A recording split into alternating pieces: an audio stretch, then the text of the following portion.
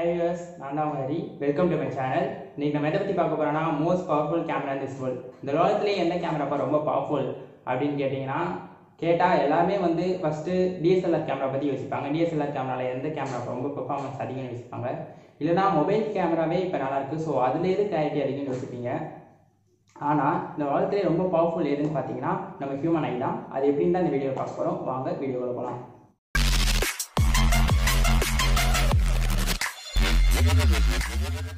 Video ஆரம்பிக்கு முன்னாடி எல்லாரும் தெரிஞ்சுக்க வேண்டிய ஒரு விஷயம். இந்த உலகத்துல புது இன்வென்ஷன் புது கண்டுபிடிப்பு அப்படின்னு எதுவுமே கிடையாது. எல்லாமே இயற்கையிலேருந்து இன்ஸ்பயர் பண்ணியோ இல்லை போர்ட்ரே பண்ணியோ தான் புது இன்வென்ஷன் சொல்லி கொண்டு வராங்க. அதை வந்து ப்ரொடியூஸ் பண்ணாங்க. எக்ஸாம்பிள் ஃப்ளைட் எடுத்திங்கன்னா அதை கண்டுபிடிச்ச ரைட் பிரதர்ஸ் அவங்க வந்து சும்மா புதுசாக உருவாக்கலை. அவங்க வந்து பேர்ட்ஸ் வந்து இன்ஸ்பயர் பண்ணி கண்டுபிடிச்சாங்க. அதே மாதிரி போட்டையும் வந்து ஒரு ஒரு உட்டு வந்து சீல ஃப்ளோட் ஆகிறத வச்சு கண்டுபிடிச்சாங்க. அதே மாதிரி தான் கேமராஸும் கேமரா வந்து ஹியூமன் ஐயோட ஃபீச்சர்ஸாக இன்ஸ்பயர் பண்ணி இன்ஸ்பயர் பண்ணின்னு சொல்ல முடியாது. அதோட ஃபீ அது வந்து அந்த அந்த நேரத்துக்கு நமக்கு தேவையாக இருந்துச்சு. இந்த உலகத்தில் நடக்கிற எல்லா விஷயத்தையும் நம்ம வந்து ரெக்கார்ட் பண்ணணும். இருக்கிற இருக்கிறபடியே என்ன கலரில் இருக்கோ அதை அப்படியே நம்ம ரெக்கார்ட் பண்ணணும் அப்படின்னு நினச்சாங்க. அப்படி நினச்சி ஹியூமன் ஐயோட ஃபீச்சர்ஸை எடுத்து கண்டுபிடிச்சது தான் கேமரா ஃபீச்சர்ஸோட ஃபஸ்ட்டு கம்பேரிசன் என்னென்னு பார்த்தீங்கன்னா மெகா பிக்சல் கவுண்ட்டு மெகா பிக்சல்லாம் எல்லாருக்கும் தெரிஞ்சிருக்கும். எல்லாரும் forty eight mega pixel sixty four mega pixel one eight mega பிக்சல்னு இந்த மொபைல் கேமரா வந்ததுலேருந்தே அதோட ஹைக்கு கிரியேட் பண்ணிட்டே இருக்காங்க. வெறும் வெறும் மெகா பிக்சலோட கவுண்ட் வச்சுட்டு எல்லாரும் மொபைல் கேமரா பவர்ஃபுல் அப்படின்னு நினச்சிட்டு எல்லாரும் வாங்கிடுறாங்க. ஆனால் மெகா பிக்சல் கவுண்ட் மட்டுமே ஒரு ஃபோட்டோ கிளாரிட்டியை முடிவு பண்ணிடாது. மெகா பிக்சல்ஸ்குள்ளே போகிறதுக்கு முன்னாடி ஃபஸ்ட்டு நம்ம பிக்சல்ஸ்னால் என்னன்னு தெரிஞ்சுப்போம்.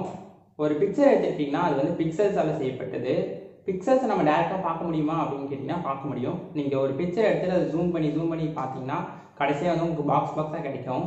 அதுதான் வந்து பிக்சல்ஸ் ஸோ ஒரு மெகா பிக்சல்லாம் எவ்வளோன்னு கேட்டிங்கன்னா one million pixels one million பிக்சல்ஸை சேர்ந்தது தான் ஒரு மெகா பிக்சல் அப்போ ஃபார்ட்டி எயிட் மெகா பிக்சல்ஸ் அப்படின்னு கேட்டிங்கன்னா forty eight million pixels human ஐயும் கேமராவாக தான் ஃபங்க்ஷன் ஆகுது. ஸோ அதுக்கும் மெகா பிக்சல் கவுண்ட் இருக்குமா அப்படின்னு கேட்டிங்கன்னா இருக்குது எவ்வளோன்னு கேட்டிங்கன்னா ஃபைவ் செவன்ட்டி சிக்ஸ் ஆமாங்க five seventy six mega pixels கொண்ட பிக்சர்ஸை நம்ம கண்ணால் ப்ரொடியூஸ் பண்ண முடியும்.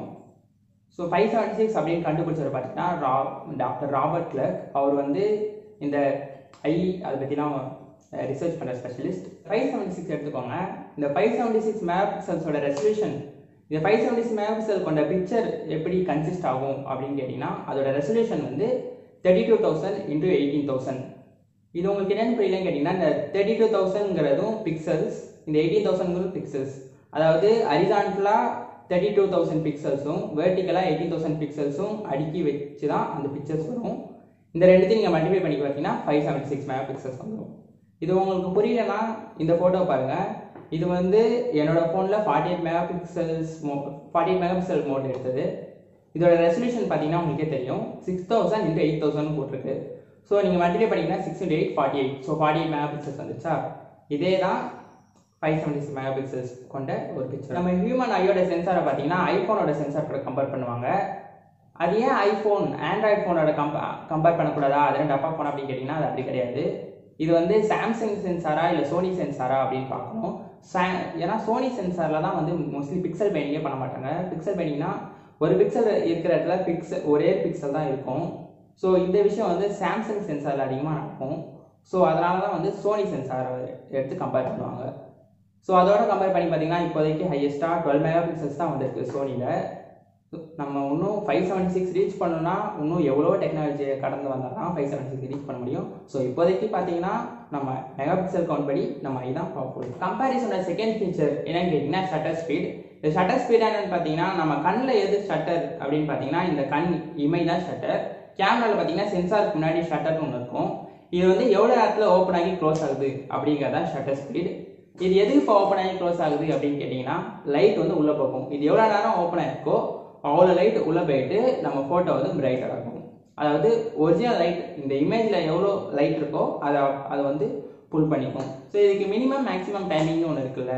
நம்ம கண்ணோட மினிமம் ஷட்டர் ஸ்பீட் டைமிங் எவ்வளோன்னு பார்த்தீங்கன்னா one by two hundred seconds ஒரு செகண்டாக இரநூறா பிரித்தா எவ்வளோ டைம் இருக்குமோ அவ்வளோ கம்மி டைம் அளவு நம்ம கண்ணால் வியூ பண்ண முடியும். கேமரா இதே மொபைல்ஸ்லையும் கேமராஸ்லையும் பார்த்தீங்கன்னா one by eight thousand seconds ஒரு செகண்டை எயிட் தௌசண்டாக பிரித்தா எவ்வளோ டைமோ அந்த அவ்வளோ ஃபாஸ்ட்டாக மொபைலோட ஷட்டரால் க்ளோஸ் பண்ணி ஓப்பன் பண்ண முடியும். இதே தான் கேமராலையும் உங்களுக்கு புரியலன்னா இந்த இமேஜை பாருங்கள் இதில் வந்து ரைட் சைடில் பார்த்தீங்கன்னா ஒன் பை தௌசண்ட் போட்டிருக்கு. அதுக்கு கீழே கண்ணை பார்த்தீங்கன்னா லைட்டாக தான் பிளிங்க் ஆகுது. அது வந்து ஒன் பை தௌசண்ட் செகண்ட்ஸ் தான் பிளிங்க் ஆகுதுன்னு சொல்கிறாங்க ஸோ வந்து மேலே டார்க்கர்னு போட்டிருக்கு பாருங்க. அந்த நேரத்தில் வந்து ஃபோட்டோ வந்து டார்க்கராக வரும். இதே வந்து சென்டரில் பார்த்தீங்கன்னா இன்னும் கொஞ்சம் பெருசாக பிளிங்க் ஆகுது. அதில் பார்த்தீங்கன்னா மேலே பார்த்தீங்கன்னா one by fifty one by ஹண்ட்ரட்னு போட்டிருக்காங்க. ஸோ வந்து கொஞ்சம் அதிக டயத்துக்கு ஓப்பன் ஆகும். இதே லெஃப்ட் சைடில் வந்தீங்கன்னா ஒன் டூன்னு போட்டிருக்கு. ஸோ அந்த ஒன் டூனா ஒன் செகண்ட் டூ செகண்ட் டென்னா டென் ஃபிஃப்டீன்னா ஃபிஃப்டீன் தேர்ட்டி செகண்ட்ஸ் வரைக்கும் ஓப்பன் ஆகிருக்கு ஸோ ரொம்ப நேரம் ஓப்பன் ஆகிருக்கனால லாங் எக்ஸ்போஷர் ஃபோட்டோ வந்து ரொம்ப பிரைட்டாக வரும். ஸோ இதுதாங்க ஷட்டர் ஸ்பீட் நம்ம ஹியூமன் ஐலையும் சரி கேமராலையும் சரி ஷட்டர் ஸ்பீட் வந்து ரொம்ப ஒன்றும் ரொம்ப பெருசாலும் கொடுக்கல. ரெண்டுமே மோரால சேம் ஃபீச்சராக தான் இருக்குது அப்புறம் இதில் எது பவர்ஃபுல் அப்படின்னு கேட்டிங்கன்னா இது வந்து பவர்ஃபுல்ல கம்பாரிசன் நம்ம கண்ணிலேருந்து இது வந்து போர்ட்ரே பண்ணி தான் கேமரால இம்ப்ளிமெண்ட் பண்ணியிருக்காங்க. நம்ம கம்பேரிசனோட தேர்டு ஃபீச்சர் என்னன்னு கேட்டிங்கன்னா ஃபோக்கல் லென்த் இந்த ஃபோக்கல் லென்த்னா என்னையா அப்படின்னு கேட்டிங்கன்னா ஒரு ஆப்ஜெக்ட் எடுத்துக்கோங்க. அந்த ஆப்ஜெக்டை நம்ம இப்போ பார்க்குறோம். அது எவ்வளோ தூரத்தில் இருக்குது அப்படின்னு காட்டுறது தான் ஃபோக்கல் லென்த் ஃபார் எக்ஸாம்பிள் இப்போ நீங்கள் இந்த ஃபோனை எடுத்துக்கோங்க. இப்போ நீங்கள் இந்த ஃபோனை பார்க்குறீங்கன்னா ஃபர்ஸ்ட் வந்து நம்ம நம்ம ரெண்டு கல்யாணமே இந்த ஃபோனை பார்க்கும்போது நம்ம இந்த ஃபோனை தான் ஃபோக்கஸ் பண்ணுவோம். நம்ம இந்த ஃபோனை பார்க்கும்போது மற்ற விஷயம்லாம் வந்து பே இந்த பேக்ரவுண்ட் எல்லாமே பிளரில் இருக்கும். நம்ம டக்குன்னு அந்த பேக்ரவுண்டை பார்க்கும்போது இந்த ஃபோன் பிளரில் இருக்கும். ஸோ ஃபர்ஸ்ட் ஒன்ல பார்த்தீங்கன்னா நம்ம இந்த ஃபோனை ஃபோக்கஸ் பண்ணுறோம் செகண்ட் ஒன்ல பார்த்தீங்கன்னா இந்த பேக்ரவுண்ட் ஃபோக்கஸ் பண்ணுறோம் ஸோ இந்த ஃபோக்கல் லென்த் அப்படின்ற ஃபீச்சர் எங்கேருந்து வந்துச்சுன்னு பார்த்தீங்கன்னா நம்ம ஐலேருந்து தான். நம்ம ஐயோட ஃபோக்கல் லென்த்தோட ரேஞ்ச் பார்த்தீங்கன்னா F two point four to F eight point three இந்த F two point four to F eight point three அப்படின்னா என்னென்னு புரியல அப்படின்னு கேட்டிங்கன்னா இந்த ஃபோட்டோவை பாருங்கள் இதில் பார்த்தீங்கன்னா ஃப்ளவர் மட்டும்தான் ஃபோக்கஸ் பண்ணியிருப்பாங்க. சப்ஜெக்ட் வந்து ரொம்ப குட்டியாக இருக்கிறதுனால F one point eight use பண்ணி அது அந்த ஃப்ளவரை ஃபோக்கஸ் பண்ணிருக்காங்க. அதனால் வந்து சென்சார் சைஸ் வந்து ரொம்ப பெருசாக ஓப்பன் ஆகும். இதே வந்து லாஸ்ட் ஃபோட்டோவில் பார்த்தீங்கன்னா எஃப் டுவெண்ட்டி டூன்னு இருக்கும். இதில் வந்து இந்த ஃப்ளவர் வந்து அந்த ட்ரீ வரைக்குமே ஃபோக்கஸ் பண்ணுவாங்க. அவ்வளோ தூரம் ஃபோக்கஸ் பண்ணுறனால இந்த சென்சார் வந்து ரொம்ப குட்டியாக தான் வச்சுருப்பாங்க. அதாவது குட்டியாக தான் ஓப்பன் ஆகும். அதனால் வந்து இது எஃப் டுவெண்ட்டி டூ அப்படின்னு சொல்லுவாங்க. இந்த F two point four F eight point five இதெல்லாம் என்னன்னு தெரியல அப்படின்னு கேட்டிங்கன்னா இதெல்லாம் வந்து எஃப் ஸ்டாப் அப்படின்னு சொல்லுவாங்க. இல்லைனா வந்து அப்பர்ச்சர் அப்படின்னு சொல்லுவாங்க. நம்ம கண்ணில் வந்து எது அப்பச்சராக ஃபங்க்ஷன் ஆகுது அப்படின்னு கேட்டிங்கன்னா பியூப்புள் நம்ம கண்ணோட கருவிழி தான் வந்து ஃபங்க்ஷன் ஆகும். ஸோ இந்த இமேஜை பார்த்தீங்கன்னா உங்களுக்கு தெரியும். எஃப் ஒன் பாயிண்ட் ஃபோரில் பார்த்தீங்கன்னா சென்சார் சைஸ் வந்து பெருசாகுது. ஏன்னா வந்து டெப்த் ஆஃப் ஃபீல்டு வந்து நம்ம கிட்ட இருக்குது நம்ம சப்ஜெக்ட் வந்து நம்ம கிட்ட இருக்கிறதுனால வந்து பெருசாக ஃபோக்கஸ் பண்ணுது. ஸோ நம்ம பியூப்புளும் அதுக்கேற்ற மாதிரி தான் ஓப்பன் ஆகும். இதே லாஸ்ட்டில் பார்த்தீங்கன்னா எஃப் டுவெண்ட்டி டூ அதுலேயும் பார்த்தீங்கன்னா சென்சார் அதில் பார்த்தீங்கன்னா சென்சார் வந்து ரொம்ப குட்டியாக இருக்குது ஏன்னா வந்து சப்ஜெக்ட் ரொம்ப தூரத்தில் இருக்கிறதுனால நம்ம குட்டியாக இருந்தாலே ஃபோக்கஸ் பண்ணால் போதும். நம்ம கண்ணும் அதே மாதிரி தாங்க சப்ஜெக்ட் வந்து ரொம்ப தூரத்தில் இருந்தால் பியூப்பிள் வந்து குட்டியாயிரும்.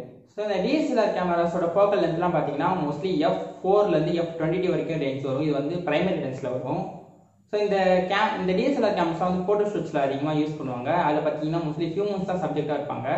அவங்கள சப்ஜெக்டாக வச்சு ஃபோக்கஸ் பண்ணி எடுக்கும்போது பின்னாடியில் பேக்ரவுண்ட் வந்து பிளரில் வரும். அப்படி எடுக்கும்போது ஃபோட்டோ வந்து பார்த்திங்கன்னா செம்ம கிளாரிட்டியாக இருக்கும். சம் ஏன்னா வந்து சப்ஜெக்ட் வந்து ரொம்ப ஃபோக்கஸ்டாக இருப்பாங்க. அவங்க வந்து ஐசோலேட்டடாக தெரிவாங்க. ஆனாலும் அந்த ஃபோட்டோ செம்மையாக இருக்கும். இதே வந்து ஃபோன்ஸில் பார்த்தீங்கன்னா ஃபோக்கல் லென்த் வந்து ஸ்டாண்டர்டாக தான் இருக்கும். அவங்க மேனுஃபேக்சர் பண்ணும்போது என்ன ஃபோக்கல் லென்த் இருக்கோ அதே தான் பார்த்தீங்கன்னா F one point seven F one point eight F two point two அந்த அளவு தான் இருக்குது அதை வந்து சேஞ்ச் பண்ண முடியாது. சப்போஸ் ஃபியூச்சரில் இந்த மொபைல் கேமராவோட ஃபோக்கல் லென்த்தை சேஞ்ச் பண்ணிக்க முடியும். நம்ம சேஞ்ச் பண்ணி ஃபோட்டோ எடுத்துக்கலாம். அந்த மாதிரி ஏதாவது ஒரு ஃபீச்சர் வந்தால் மொபைல் கேமராவை அடிச்சுட்டு எதுவுமே கிடையாது. ஏன்னா இப்பயே வந்து கிளாரிட்டியில் வந்து டிஎஸ்எல்ஆர் கேமரா கூட போட்டி போடுது. ஆனால் டிஎஸ்எல்ஆர் கேமரா வந்து ஹைக் ஆகி மேலே நிற்கிற ஒரே இடம் பார்த்தீங்கன்னா இந்த ஃபோக்கல் லென்த் தான். இந்த ஃபோக்கல் லென்த்லாம் வந்து மேலே வருது ஸோ இந்த கம்பேரிசன்லையும் பார்த்தீங்கன்னா நம்ம ஐயோட ஃபீச்சர் தான் எடுத்து கேமராவில் இம்ப்ளிமெண்ட் பண்ணிருக்காங்க. நம்ம கம்பேரிசனோட நாலாவது ஃபீச்சர் என்னன்னு பார்த்தீங்கன்னா ஐஎஸ்ஓ ஐஎஸ்ஓனே எல்லாருமே இந்த ப்ராடக்டோட சர்டிஃபிகேஷன் ஐஎஸ்ஓ தர சான்றிதழ் பெற்றது அப்படின்னு யோசிப்போம். ஃபோட்டோஸ்லையும் பார்த்தீங்கன்னா அதே தான் இந்த ஃபோட்டோகிராஃபியில் உள்ள ஃபிலிம்ஸ் அது வந்து லைட்டுக்கு எவ்வளோ சென்ஸ் ஆகுதோ அதுக்கேற்ற மாதிரி தான் வந்து ஐஎஸ்ஓ அவங்க அந்த ஆர்கனைசேஷன் வந்து சர்டிஃபிகேஷன் கொடுப்பாங்க. இந்த ஐஎஸ்ஓங்கிறத ஒரு பிரைமரி கன்சர்ன் ஃபீச்சர் அப்படின்னு சொல்லிட முடியாது. பட் ஒரு ஆடட் ஃபீச்சர் அப்படின்னு சொல்லலாம். ஏன்னா வந்து சென்சார் வந்து எப்பயுமே டிரான்ஸ்பரண்டாக தான் இருக்கும். ஆனால் வந்து ஓவர் சன்லைட் டைரக்ட் சன்லைட்டை நம்ம எக்ஸ்போஸ் பண்ணும்போதோ இல்லை ரொம்ப லோ லைட்டில் எக்ஸ்போஸ் பண்ணும்போதோ ஃபோட்டோ வந்து கரெக்டான பிரைட்னஸில் வராது. ஸோ பிரைட் கரெக்டான பிரைட்னஸில் கொண்டு வரதுக்காக தான் இந்த ஐஎஸ்ஓ வந்து இம்ப்ளிமெண்ட் பண்ணாங்க. இது வந்து ஒரு ஆடட் ஃபீச்சர் சென்சாரில் நம்ம கண்லேயும் பார்த்தீங்கன்னா இது ஒரு ஆடட் ஃபீச்சர் தான். நம்ம கண்ணில் வந்து ஐஎஸ்ஓங்கிறது கிடையாது. என்ன பிரைட்னஸோ அதை தான் எடுத்துக்கும். நம்ம சன்கிளாசஸ் யூஸ் பண்ணும்போது இந்த சன்கிளாசஸ் வந்து சன்லைட்டுக்கு சென்ஸ் ஆகி அது வந்து டிரான்ஸ்லசண்ட்டாக மாறி நம்மளுக்கு வந்து பிரைட்னஸை வந்து கரெக்டான லெவலுக்கு கொண்டு போகும். இந்த சன்கிளாசஸ் தேரி புரியலன்னா இந்த ஃபோட்டோவை பாருங்க. இதில் வந்து ஐஎஸ்ஓ ஹண்ட்ரட்ல இருக்கும்போது சன்கிளாசஸ் வந்து டிரான்ஸ்லசண்டாக இருக்கும் அதாவது ஹைலைட் சன்லைட் மாதிரி ஒரு லைட்லாம் படும்போது அதெல்லாம் டிரான்ஸ்லசண்டாக மாறி நம்ம வந்து சன்லைட்டை ஈஸியாக பார்க்க முடியும். இதே வந்து லோ லைட் லைட் கம்மியாக இருக்கிற நேரத்தில் வந்து சென்சிட்டிவிட்டி அதிகமாக கொடுக்கும். த்ரீ தௌசண்ட் டூ ஹண்ட்ரட் அளவு சென்ஸ் பண்ணும்போது சென்சார் சைஸ் சென்சார் வந்து டிரான்ஸ்பரண்ட்டாக மாறிடும். அதே மாதிரி தான் சன்கிளாஸும் சன்கிளாஸஸ் வந்து ரொம்ப டிரான்ஸ்பரண்ட்டாக மாறிடும். அதனால் வந்து அதிக லைட்டை சென்ஸ் பண்ணி நம்மளுக்கு வந்து ஃபோட்டோ வந்து கரெக்டான பிரைட்னஸில் கொடுக்கும். ரேஞ்ச் பார்த்தீங்கன்னா நம்ம கண்ணில் வந்து ஒரு ஆடட் பிக்சராக இருந்தாலும் இது வந்து சென்ஸ் பண்ணுறதுக்கு ஒரு ரேஞ்ச் இருக்குது நம்ம ரேஞ்ச் பார்த்தீங்கன்னா ஒன் டு எயிட் ஹண்ட்ரட் இதே வந்து கேமராவில் பார்த்தீங்கன்னா fifty to six thousand four hundred இந்த அளவு ரேஞ்ச் இருக்குது இது வந்து ஒரு ஆடட் ஃபீச்சர்ன்றனால கேமரா வந்து கொஞ்சம் நல்லாவே இம்ப்ளிமெண்ட் பண்ணியிருக்காங்க. சிக்ஸ் தௌசண்ட் ஃபோர் ஹண்ட்ரட் வரைக்குமே வந்து நம்ம வந்து ஐஎஸ்ஓவை சேஞ்ச் பண்ணி நம்ம வந்து ஃபோட்டோவை வந்து கரெக்டான பிரைட்னஸ் அளவுக்கு கொண்டு வந்துருக்கலாம் நம்ம கம்பேரிசனோட ஃபிஃப்த் ஃபீச்சர் என்னன்னு பார்த்தீங்கன்னா ஃபீல்ட் ஆஃப் வியூ அதாவது நம்ம ஹியூமன் ஐ எவ்வளோ ஃபீல்டுக்கு வியூ பண்ணணும் அப்படிங்கிறத ஃபீல்ட் ஆஃப் வியூ இதோட ரேஞ்ச் பார்த்தீங்கன்னா ஹியூமன் ஐயில் வந்து வேர்ட்டிக்கலாக ஒன் தேர்ட்டி ஃபைவ் டிகிரியும் ஹரிசாண்டா டூ ஹண்ட்ரட் டிகிரி வரைக்கும் பார்க்க முடியும்.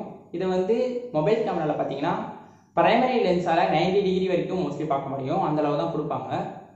ஆனாலும் அதிக விஷயத்த வந்து நம்ம வந்து ஒரே இமேஜில் பார்க்கணும். ரொம்ப ஃபீல்ட் ஆஃப் வியூ வந்து வேணும் அப்படின்ற பட்சத்தில் வந்து வைட் ஆங்கிள் லென்ஸ் அப்படிங்கிறது இம்ப்ளிமெண்ட் பண்ணிருக்காங்க. இது வந்து ஒரு செவன் டு எயிட் மந்த்ஸாக ஃபோனில் இருக்குது இதோட ஃபீல்ட் ஆஃப் வியூ பார்த்தீங்கன்னா mostly one twenty three degree வரைக்கும் வரும்.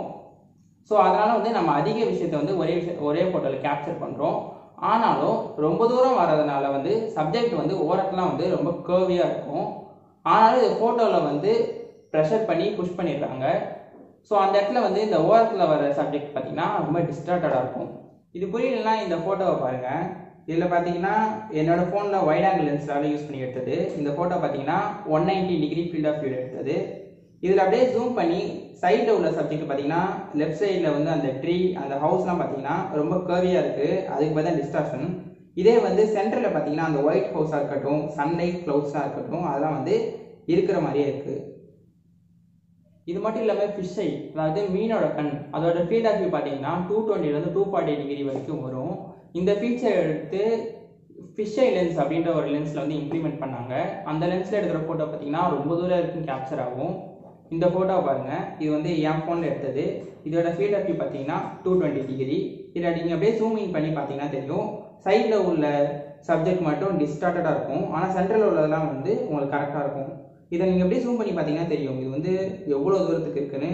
இதில் வந்து நிறையா சப்ஜெக்ட் வந்து கேப்சர் ஆகிருக்கு நம்ம கம்பேரிசனோட கடைசி ஃபீச்சர்னு பார்த்தீங்கன்னா ஃப்ரேம்ஸ் பர் செகண்ட் இது வந்து எங்கே யூஸ் பண்ணுவாங்க பார்த்தீங்கன்னா அதிகமாக வீடியோஸில் தான் யூஸ் பண்ணுவாங்க. வீடியோஸில் இம்ப்ளிமெண்ட் பண்ணி வர மெயின் ஃபீச்சர் தான் வந்து ஃப்ரேம்ஸ் பர் செகண்ட் இந்த எஃபிஎஸை பார்க்கறதுக்கு முன்னாடி வந்து நம்ம வீடியோஸ்லாம் என்னென்னு பார்க்கலாம். இந்த கேமராஸ்லேயும் சரி ஃபோன்லேயும் சரி ஏன் நம்ம கண்ணில் கூட சரி வீடியோஸ்னு ஒன்று கிடையவே கிடையாது. இந்த எல்லா விஷயத்தாலையுமே வீடியோன்னு ஒன்று எடுக்கவே முடியாது. இது எல்லாமே என்ன செய்யுதுன்னு பார்த்தீங்கன்னா பிக்சர்ஸ் எல்லாமே வந்து பிக்சர்ஸாக தான் எடுக்குது. இந்த பிக்சர்ஸ் எல்லாம் ஒன்று சேர்த்து தான் வீடியோவை கொடுக்குது. இது எப்படின்னு பார்த்தீங்கன்னா நம்ம கண்ணால் வந்து ஒரு செகண்டுக்கு இருபத்தி நாலு ஃபோட்டோ எடுக்க முடியும். இந்த இருபத்தி நாலு ஃபோட்டோவும் சேர்த்து தான் வந்து நம்மளுக்கு வீடியோவை கொடுக்குது. இப்போ ஒரு செகண்டுக்கு வந்து நம்ம வீடியோ எடுக்கிறதுல இருபத்தி நாலு ஃபோட்டோவை எடுக்கிறோம். இது வந்து நம்ம மைண்டுக்கு போயிட்டு நம்மளுக்கு வந்து ஒரு வீடியோவாக கன்வெர்ட் ஆகி வருது. இதே வந்து மொபைல்ஸ் அண்ட் கேமராஸில் பார்த்தீங்கன்னா தேர்ட்டி எஃப்பிஎஸ் சிக்ஸ்டி எஃப்பிஎஸ் அப்படின்னு சொல்லுவாங்க. அதெல்லாம் என்னென்னு பார்த்தீங்கன்னா ஒரு செகண்டுக்கு தேர்ட்டி ஃப்ரேம்ஸை கிரியேட் பண்ணும். சிக்ஸ்டினா ஒரு செகண்டுக்கு வந்து சிக்ஸ்டி ஃப்ரேம்ஸை கிரியேட் பண்ணும். ஃப்ரேம்ஸ் அதிகமாக அதிகமாக பார்த்தீங்கன்னா நம்ம கண்ணுக்கு வந்து ஒரு ரியாலிட்டியை கொடுக்கும். அந்த ஃப்ரேம்ஸ்லாம் நிறைய ஃப்ரேம்ஸ் வந்து ஒன்று சேர அந்த வீடியோ வந்து ரொம்ப கண்டினியூட்டியாக இருக்கும். அதனால் வந்து நம்ம கண்ணுக்கு வந்து அந்த வீடியோ வந்து ரொம்ப ரியாலிட்டியாக காட்டும். ஸோ வந்து ஸ்லோ மோஷனில் பார்த்தீங்கன்னா two forty FPS nine sixty FPS அப்படின்னு சொல்லுவாங்க. அது எப்படின்னு பார்த்தீங்கன்னா ஒரு செகண்டுக்கு வந்து டூ ஃபார்ட்டி ஃப்ரேம்ஸை கிரியேட் பண்ணும். இல்லைனா வந்து நைன் சிக்ஸ்டினா நைன் சிக்ஸ்டி ஃப்ரேம்ஸை கிரியேட் பண்ணும் ஒரு செகண்டுக்கு அதனால தான் வந்து நம்மளுக்கு ஸ்லோ மோஷனில் பார்த்தீங்கன்னா அவ்வளோ ஸ்லோவாக அந்த வீடியோ கிடைக்குது. இப்போ நீங்கள் பார்த்துட்டு இருக்க இந்த வீடியோக்களும் டென் எயிட்டி பிக்சல்ஸ் தேர்ட்டி ஃப்ரேம்ஸில் தான் நான் வந்து அப்லோட் பண்ணேன். அதாவது வந்து இப்போ நீங்கள் இதை பார்த்துட்டு இருக்க ஒரு செகண்டுக்கு தேர்ட்டி ஃப்ரேம்ஸை வந்து இந்த வீடியோ ப்ரொடியூஸ் பண்ணும். ஸோ அவ்வளோதாங்க இந்த வீடியோ இதில் வந்து நம்ம என்ன கன்க்ளூட் பண்ணுறோம்னா கேமராங்கிறது ஒரு புது இன்வென்ஷன் கிடையாது. இது வந்து ஹியூமன் ஐலேயோ இந்த மற்ற ஐலேயோ உள்ள ஃபீச்சர்ஸ் தான் எடுத்து இம்ப்ளிமெண்ட் பண்ணி போர்ட்ரே பண்ணி நம்மளுக்கு வந்து கேமரா மொபைல் கேமரா அப்படின்னு கொடுக்குறாங்க. உங்ககிட்ட சில முக்கியமான விஷயம் சொல்லணும்னு நினைக்கிறேன். ஃபஸ்ட்டு பார்த்தீங்கன்னா இந்த வேர்ல்டை வந்து எத்தனையோ பேர் ரூல் பண்ணாலும் கரண்ட் சுச்சுவேஷனில் ரூல் பண்ணுற யாருன்னு பார்த்தீங்கன்னா கொரோனா தான். ஸோ இந்த கொரோனா கிட்ட இருந்து கொஞ்சம் தள்ளியே இருக்கணும் அப்படிங்கிறதுக்காக எல்லாரும் வீட்லேயே இருங்க சேஃபாக இருங்க.